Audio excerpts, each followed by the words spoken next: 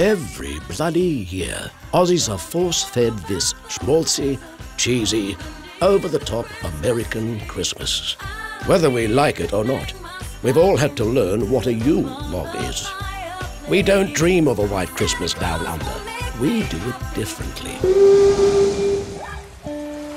So Aldi introduced Australia to the Tinkletons, a family of American Christmas fanatics who are out to prove that their Christmas is better than ours.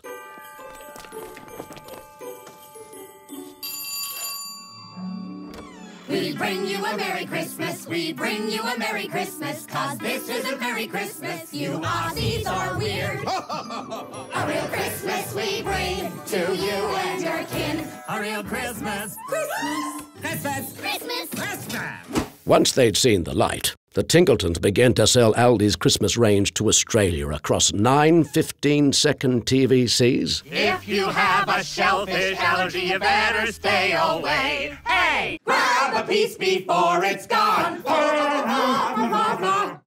Fudge! But remember when you open it to point the cork away.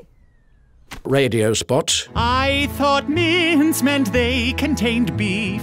Me too, but no, these are sweet. Sweet in every piece. posters, along with the digital, social, and over 50 million catalogues.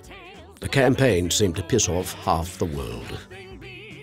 But it also galvanized Australians and celebrated what is truly unique about the perfect Aussie Christmas. It's Aldi's most successful Christmas campaign yet, outselling last year's by 17% in total sales and 27% in seasonal sales. We also attracted nearly 200,000 new shoppers in just four weeks, boosting Aldi's quality perception to record highs.